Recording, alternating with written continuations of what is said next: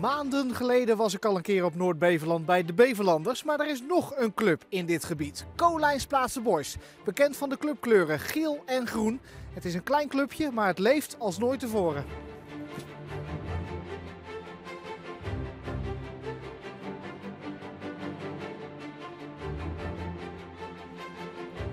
Dag Thijs, goedemiddag. Hey, Jan Jaap, welkom. In de dugout van Welkom. Kolijnsplaatsen Boys. Is dat een eh, vertrouwd plekje voor jou of eh, ben je niet zo'n eh, voetbalman? Ik, ik, ik kom hier wel, maar niet zo heel vaak. Nee, oké. Ik, ik ben voorzitter Ja, en we moeten er bovenal voor zorgen dat andere mensen daar kunnen zitten. oké. Ja. Dus dat is belangrijk eh, voor een bestuurder dat je niet te veel verstand van voetbal, maar meer van besturen. Wij moeten besturen en de voetballers moeten voetballen en de trainer moet trainen en et cetera. Ja, ja. Ja. Hoe gaat het met de club Kolijnsplaatsen Boys? Nou, heel goed. Heel goed. Ehm, we hebben 180 leden. We hebben heel veel vrijwilligers. En anders dan in de rest van Nederland, groeiend aantal vrijwilligers. Dat gaat hartstikke goed. Hoe komt dat? Is dat eh, actief werven of komen ze vanzelf? Nee, nee, nee. Het is toch wel actief werven. En me- vooral je openstellen om eh, ervoor te zorgen dat mensen zich welkom voelen in de club. Ja, En dat vindt u een belangrijke taak van u zelf ook? ja van mij, maar ehm, we doen dat met een tiental eh, mensen.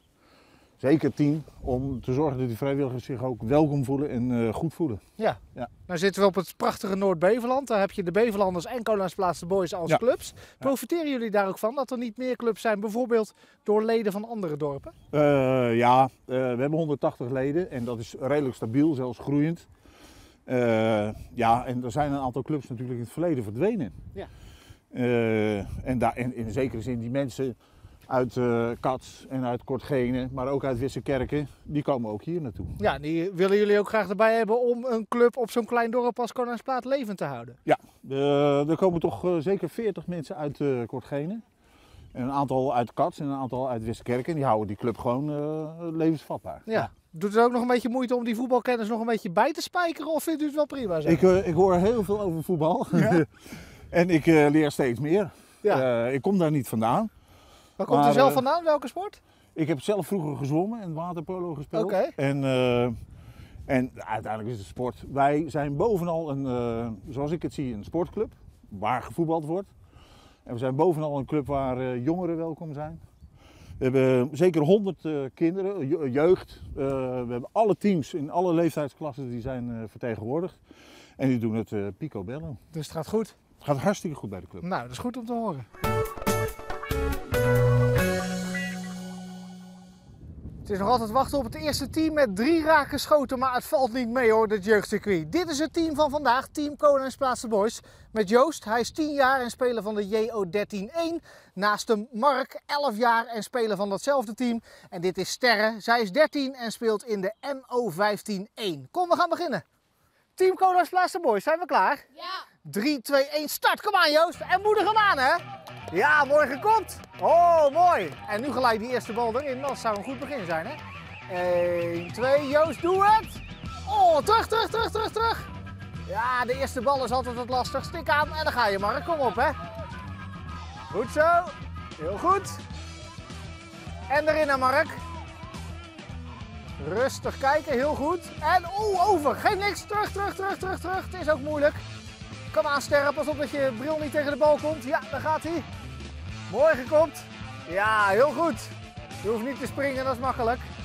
En nu raken, hè. 1, 2. Die meisjes kunnen dat. Oh, de lat. Wel een prachtig schot. Maar die telt niet. Tik hem aan, tik hem aan. Ja, daar ga je, Joost. Kom op. Hop. En, oh, die gaat op het doel. Die haal ik er even af voor de volgende. Joost! Oh! Terug, terug, terug! Tik Mark aan. Kan nog steeds, hè? Kom op, kom op, kom op. Yes! Yes! Nou, Mark. Ja, dit wordt hem, dit wordt hem, dit wordt hem. En ja! Heel goed, terug, terug, terug. Nou, Sterren, als jij hem ook nog raakt, dan hebben jullie er ook twee. En de tijd gaat ook hartstikke goed. Tik aan. Ja, hartstikke goed. Raak. Ook raak.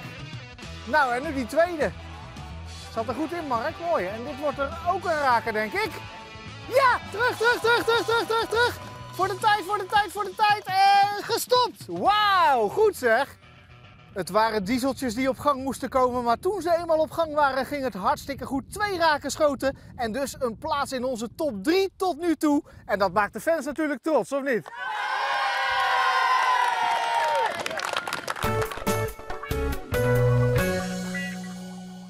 David, zijn jullie eigenlijk de fanatiekste supporters van Kona's Plaatsen Boys?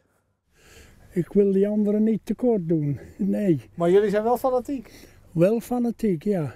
Waar blijkt dat uit, Piet? Nou ja, Ja, je gaat uit en thuis. hè. je gaat altijd uit en thuis mee. En ja, goed, Meestal eh, in alle weer. jij natuurlijk ook wel eens eh, ja, fanatiek. Zoals ik zeg, ik ben zelf ook uh, grensrechter geweest en eh, ja, de regels zijn zo veranderd. En vooral de gevallen van buitenspel. Ja, en eh, reageer je dan op de grensrechten van de tegenpartij of niet? Dat doe ik ook. Ja? ja dat, Maar dan denk je Ah, niet bij jezelf, ik heb daar ook wel eens gestaan. Nou, nee, nee, dat, nee, nee, dat denk ik niet. Maar ik, ik, ik zie de zware eh, situaties. Als het natuurlijk geen gebied te spelen is, en dat gevaarlijk wordt, dat ze toch eh, ja, gewoon, moeten willen gewoon de vlag naar boven steken. Ja, En omdat dat minert niet was, had ik toch een aan. ja, ja. Hey, David, bij Piet hoor ik wel een lekker Zeeuws accentje, maar bij jou niet, hè? Maar over de eh, grensrechters. Ja, nog even eerst over het accentje. Waar komt dat vandaan? Ah, Yorkshire. Yorkshire. Yorkshire. Engeland. Noordoost-Engeland. Oké, maar over de grensrechten, wat wil je erover zeggen? Ik ben niet fanatiek wat die eh, tegenstanders betreft, maar ik heb wel een top 10 van valsrikken. Ja, Ja, die, die hou ik bij. oké. En eh, wie staat daar hoog in? Of eh, noemen we geen namen? Daar kunnen we niet over praten. Misschien leeft de man niet meer.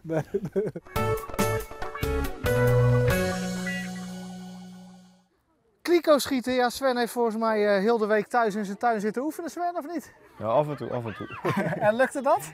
Ja, het ging niet verkeerd, maar het moet vanavond gebeuren. Ja. Nu staat de druk erop. Ja, voel je het? Veel supporters, ja, de druk. Hoe is het eh, met de supporters eh, bij Cola's Plaatsen Boys in de derde klasse? Komen die ook wel opdagen? Ja, als het goed weer is. Als het goed weer is, ja. We ja. hebben een vaste kern, die zitten er altijd. En eh, als de temperaturen hoger worden, dan komen er steeds meer. Ja. Of het moet echt spannend zijn. ja, want vorig jaar was het spannend. Toen hadden jullie na-competitie en Ja. met een goede afloop. Ja, ja. Hoe was dat? ja, heel leuk. Als je zo aan het einde van het seizoen eigenlijk, eh, vanuit de vierde naar de derde, dan moet je natuurlijk niks in principe. Je gaat gewoon kijken eh, wat je kan doen. En het waren prachtige wedstrijden. Toen waren er wel heel veel supporters ook van de andere clubs natuurlijk. Ja. Nee, was eh, superleuk. ja, en dan nu derde klas. Ja, dan weet je van tevoren misschien wel een beetje dat dat onderin meedraaien wordt. Ja, het is een zwaar jaar, laten we het daarop houden. Ja, is dat leuker, die derde klasse? Of, Ja, het is wel leuk, maar we moeten gewoon echt elke week 200% geven en dan moet het nog net goed vallen. En dat lukt niet altijd. eh. nee, alle zeilen bijzetten? alle zeilen altijd bij een dorpsclubje zo. Ja, dat is vaak. Nou, waar je wel bovenaan mee kan komen dit seizoen is het uh, kliko schieten. We gaan proberen. Ik ben benieuwd. 100 punten is het record. Moet kunnen toch? Ik hoop het. Zet hem op. Dank u. Oké Sven, zet hem op hè. We gaan ervoor. Ah, nog even aan de afstand wennen. Dat is altijd. Ja, ja, ja. Oh. Ja, die gaat er komen. Oh. Ja, 10. De eer is gered. Nu nog een paar puntjes extra. Ah. Het was even warm draaien. Ja, we hebben ons best gedaan. 30 had je er meer van verwacht eigenlijk? Bij het Ja, bij oefenen het beter. Daar dat praten we maar niet meer over. Dat doet die camera niet bij. Toch goed gedaan, dan bedankt. Oh, oh. Dichtbij hè?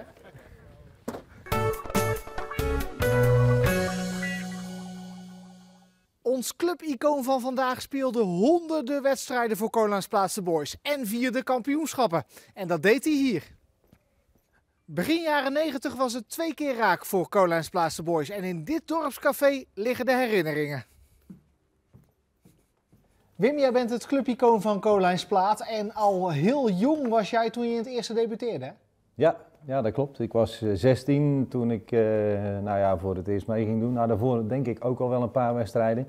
Maar echt op competitieniveau ging ik op mijn 16 in het eerste voetbal. Ja. Dus ja, toen was wel duidelijk dat kleine Wim een talent was. Ja, ja, ik kon op zich wel redelijk ballen. Ik vond het wel jammer, want vanuit de B-junioren ging ik door naar het eerste. En mijn maatjes, zeg maar, mijn vrienden, die bleven nog in de A-junior achter. Dus op zich was dat ook wel jammer. Maar eh, ja, het was wel mooi om toen al in het eerste te gaan voetballen, ja. Ja. ja. Verdeeld over twee periodes, eh, 18 jaar in uh, Colans Plaatsen Boys 1 gespeeld. Over dat uitstapje gaan we het straks nog even hebben. Maar wat waren bij Colans Plaatsen Boys de hoogtepunten voor jou? Poeh, eh, ja, het kampioenschap in 1990. eh Colijn eh, had 18 jaar lang geen kampioensfeest kunnen vieren. En eh, ja, dat was natuurlijk heel bijzonder. Daar is En deze 18 foto jaar- van, hè? Ja, daar is deze foto van. Hier eh, voor Café de Patrijs. En eh, ja, dat, dat was bijzonder natuurlijk op het, eh, op het dorp, zeg maar, om dat na 18 jaar weer te mogen vieren. Deze foto is van je uitstapje bij Cero's Kerken. En Ja. ja. ja, deze foto kennen de Zeeuwse voetballiefhebbers wel, denk ik, hè? Ja, dat denk ik wel. Hij is uit 1988. Eh Nederland zelf was zat in de voorbereiding zeg maar, naar het EK toe. En eh Ceres bestond. Eh, ja, ik weet het aantal jaren, weet ik niet, maar die hadden een jubileum, in ieder ja. En eh, nou ja, we konden in Vlissingen tegen eh Nederland zelf al spelen toen voor 6000 man publiek. Ja, dat was natuurlijk bijzonder. Tegen wie stond je eigenlijk? Ja, tegen Ruud, Ruud Gullit-. Oké. Eh, ja, dat was ook bijzonder natuurlijk. Ja, ja dat, was, dat was, was prachtig. Twee seizoenen bij Ceres sowieso hoor, was, was, was heel mooi. Want we speelden natuurlijk toen het hoogste van, van Zeeland. Toch bleef Koningsplaatsen Boys trekken. Je bent weer teruggegaan en lang door blijven voetballen.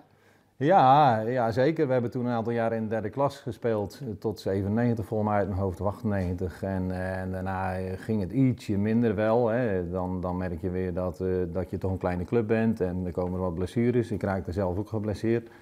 En eh, op een gegeven moment ja, ben ik gestopt. Ja, want deze foto is van afgelopen jaar na je af allerlaatste wedstrijd met je vader. Ja, dat klopt. Vorig jaar eh, zijn we met het derde elftal nog eh, kampioen geworden, zeg maar. En, eh, en dit is een foto van de laatste wedstrijd. Het is een foto met mijn vader, zeg maar. Mijn vader wordt in juni 90. En ja, dat is altijd een van mijn trouwste supporters geweest. Want hij ging... in de beginperiode ging hij altijd mee uit ook, maar, maar thuis was hij er altijd. Dus ik denk niet dat hij veel wedstrijden gemist heeft van Nee, me. dat dus het was niet. leuk om nog even met hem op de Ja, het foto was te wel leuk gaan. om even met hem op de foto te gaan, ja. ja.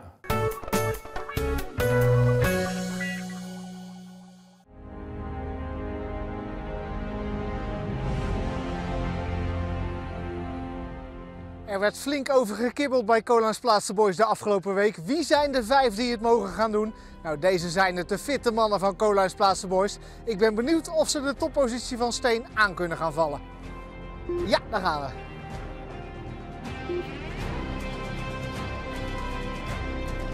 Ja.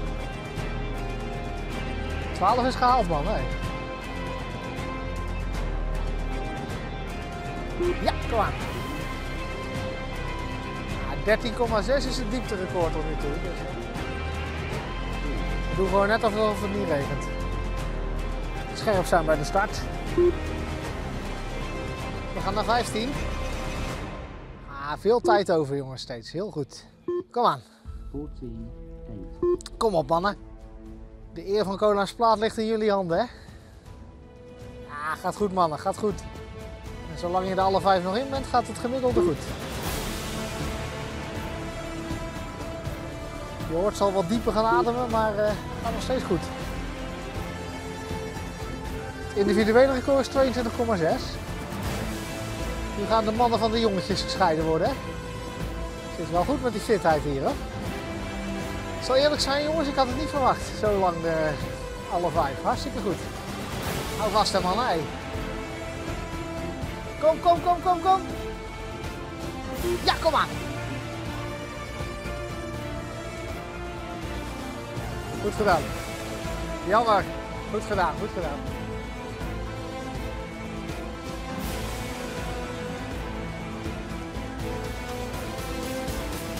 Ja, kom op, kom op, kom op. Je bent te goed om de 21 niet te halen. Kom aan.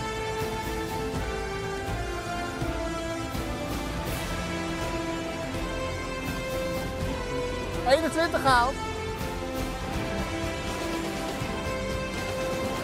Ze zagen er wat tegenop, de mannen van Cola's Plaatsen Boys. Maar dat was onterecht, want eh, ja, ze gingen als een tierenlier. Maar toen er eenmaal één af was, toen ging het hard. Maar eh, goed gedaan, mannen. En eh, ja, met die fitheid zit er bij jou zeker wel goed, toch? Nog wel. Buiten adem? Ja, dat klopt.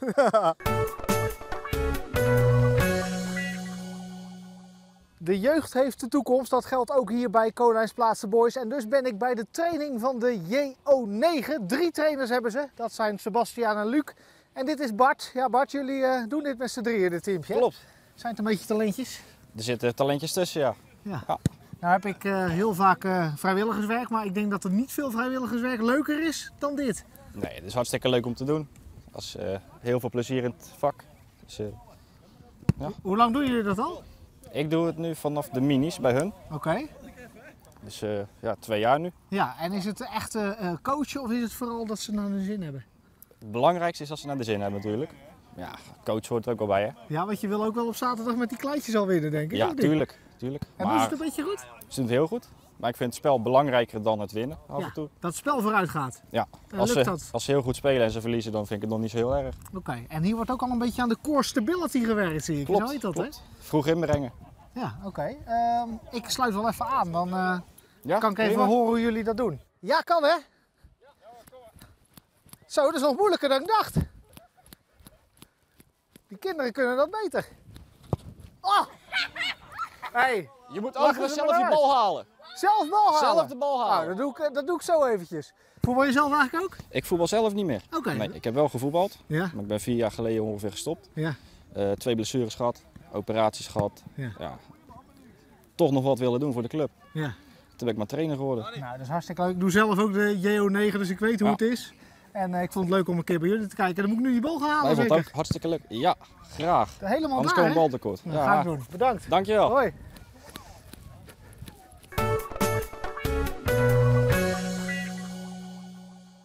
Tijd weer voor de penalties. En dan sta ik volgens mij tegenover dezelfde die ik net bij de F'jes heb gezien, of niet? Ja, net die andere. Dat was je tweelingbroer. Ja, Oh ja, ja, dan vandaar dat ik een beetje in de war ben. Maar Ja. jij bent eh, eh, Leon. de- keeper? Ja, de ja, ja, oké. Dus eh, ik ben wel aan het goede adres bij jou. Ja, dat wel. Oké, en ben je met je pe- penalty killer, Leon? Eh, zoveel heb ik nog niet tegen gehad. Dus. Oké. Dus, maar eh, degene die ik tegen heb gehad, die heb ik gehouden. Echt waar? Oh, dus je zit op 100%. Ik wil je niet bang maken. dat moet je zeggen. Ik ben de penalty killer natuurlijk. Nee, dat Oké. ga ik niet zeggen. Ga je die 100% vandaag vasthouden? Nee. Nee? Hoeveel ga je er pakken? ik, eh, sowieso één. Sowieso Nee, ik heb je filmpjes gekeken. maar- Oké. Ja, be- houd het bescheiden bij één. Ja. Ja, ik ben benieuwd. Succes. Dankjewel. Oké Leon, we gaan beginnen. Succes hè.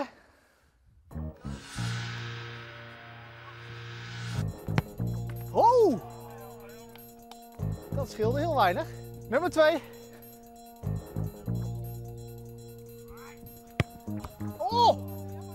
Je hebt wel de goede hoek. Die filmpjes kijken heeft geholpen. Nummer 3.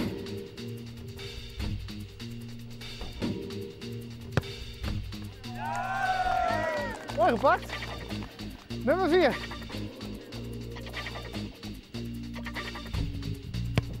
Ja! Als je de laatste ook pakt, ben je mede recordhouder, eh, Leon. Nummer 5.